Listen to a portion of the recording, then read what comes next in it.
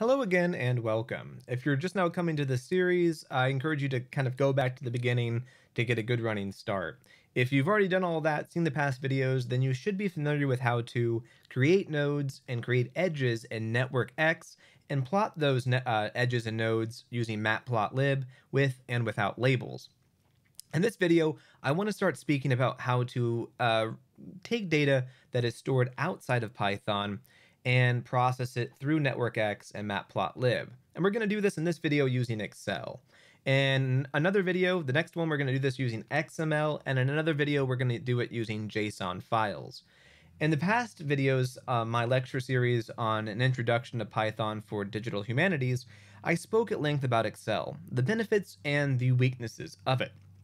If you have data that is consistently structured, meaning it has the same number of attributes consistently across all rows, then Excel is fantastic. And when you're creating network maps, this is kind of precisely what we're going to be doing. We're going to have the same data for each row because we are simply going to be creating nodes uh, from two different columns in Excel. Uh, so the way in which you handle Excel in Python is via a module called XLRD. If you haven't installed this yet, I encourage you to pause the video now, go and use pip install in your command prompt, and pip install XLRD. This is the standard Python library for handling uh, Excel documents to read them. Uh, and you're going to be able to do that a lot more easily because XLRD comes with all the functions you need to analyze, interrogate, and work with Excel data.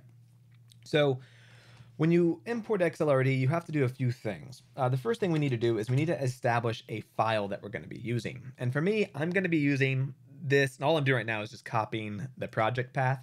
And we're going to be using this sample data file that I've already created. So what we're going to do is we're going to copy it in here. I need to format this just a little bit to make sure it's re read correctly by, by Python. And once you have your file stored as a string, then what you need to do is you need to first create your network map. And you're going to do this by creating the object g is equal to nx.graph, uh, and that's just going to be left like that. The next thing that we need to do is we need to create a list, and we're going to create a list of names. And we're going to store this right here because we're going to eventually, in this Python script, iterate through the Excel data through a for loop. And we want to store the data outside of that for loop so that we can call it later on in the script. So we're going to just put that right there. Now we need to start interacting with XLRD. So we're going to do this, and this is the Pythonic way to do it. We're going to create book. And book is an object that is going to be xlrd.open. We're going to use the open workbook function from the XLRD library. And we're going to tell it to open file. And it's simply going to open up this file here. Uh, in Python, it's typically standard to store your file as a string object and just call it later on in the script so it looks prettier. You don't have a long string existing uh, down here. So the other thing that we need to do is all that we've done is we've just created an object of book, which is the whole Excel file. The next thing that we need to do is we need to specify which sheet in the book. And the way we do that is we use book dot and we use the sheet by index function and we are going to tell it to grab sheet 0. And Python, 0 is going to be the first sheet. Remember, Python, in a list, everything, you always work with 0 first. Uh, so 0 is equal to 1 in this case. So once we have that, now we've got sheet loaded as an object of memory. That's going to be uh, the sheet's entire data.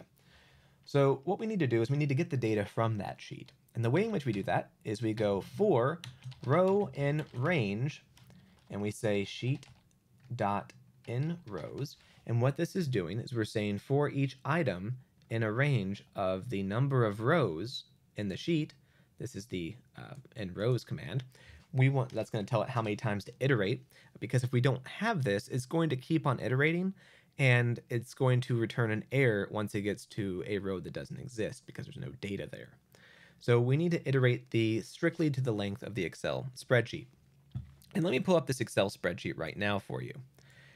I've just used a online random name generator and I've created a, a series of 50 names, uh, 50 relationships. This is going to be person one and this is going to be person two. And if you notice, the name Tobias appears multiple times in both lists. This is because I want Tobias to uh, have a lot of relationships so we can kind of see it mapped out correctly. Uh, and we can kind of see the, uh, the power of processing data through Excel and NetworkX. So I'm going to go ahead and close this. And what I want to do is I want to take that data, I want to gather the data from that row, and I want to iterate across it row by row. So what I'm going to do is I'm going to do row slice. This is a very important function in XLRD, row slice. And I'm going to tell it that I want it to slice the row, which is going to be uh, row 0, so the first row, then row 1, then row 2, and it's going to iterate down through the entire Excel spreadsheet until it gets to the last row. And I'm going to create that object data. So data is going to basically be all of the information on a given row. But that's not good enough. I need that information stored individually. So I don't have to do this actually. I can do it a different way. I'm doing this so that you get a sense of the basics. So I need person one to be equal to data zero, which is going to be column zero, which is column A in Excel. And I want to return the value of that. For person two, I want to do the same thing and call column B, which is column one in Python.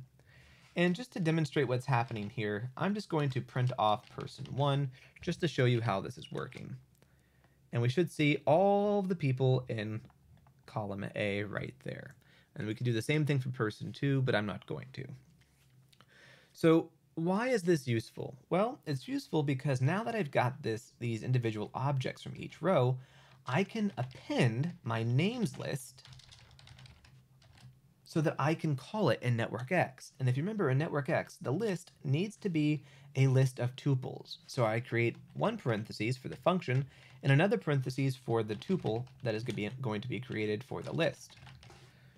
And what this is going to do is it's going to go through each row, obtain these two pieces of information, and use them to create a tuple, and it's going to append that tuple to the list and it's going to do that 50 times as it goes through all of the Excel data. Demonstrate that, I'm going to print names, so it's going to print it outside of this loop, and it's going to render everything as it should. Me see it down here, a series of tuples. So now that we know that that works, we need to start taking that data and working with it through NetworkX. And the way in which we're going to do that is we're going to use the add edges from function. We're going to set that to names. Remember, the add edges from allows us to pass a list of tuples into NetworkX to then map it.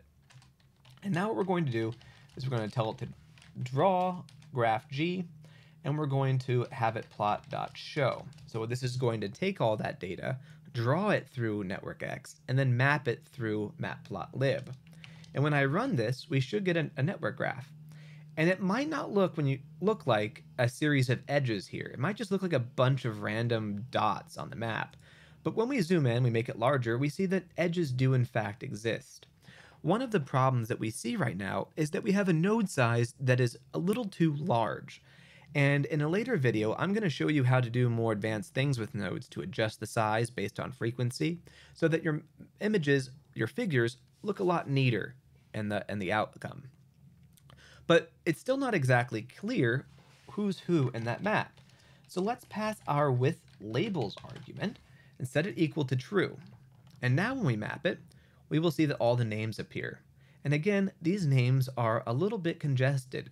We could uh, actually adjust the font size and everything like that, but I'm not going to do that in this video. This was just to give you a sense for how to take data from Excel, process it in Python using the NetworkX library, and then create an image using the matplotlib library.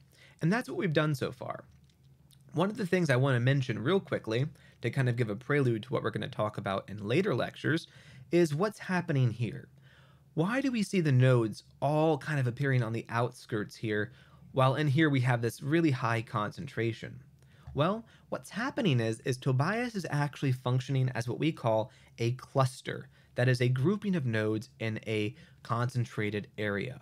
And what's happening is the algorithm that's being used to create this network map is actually propelling all the other nodes away based on that algorithm. So Tobias's strength and this cluster strength is actually resisting all the other nodes, and that's what's allowing it to be rendered visually. Again, I'm going to speak at length about network layouts in uh, Matplotlib and NetworkX in a later lecture.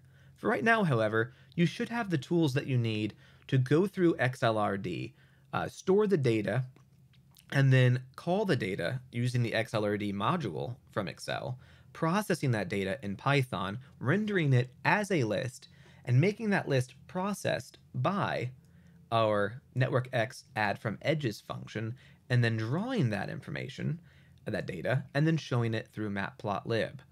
We covered a lot in this lecture. I highly recommend that you take time and try to repeat what I've done here.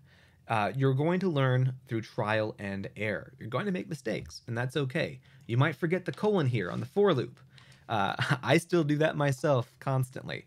Just play around with it, make the mistakes, and you'll eventually just get it down where it becomes second nature.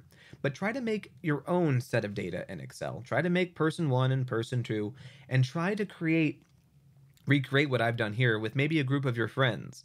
In a later video, I'm going to show you how to add extra attributes to these relationships, because not all relationships are the same. Some people are friends, some people are connected socially, some people are connected familially, some people are connected spiritually. Uh, this is going to uh, be a way that we can actually make these relationships more nuanced so we can show how individuals do not all share the same types of relationships. But we're going to do that in a later video. For right now, just get the basics down of uh, processing the data using XLRD. So thank you for listening, and I hope you've found this useful.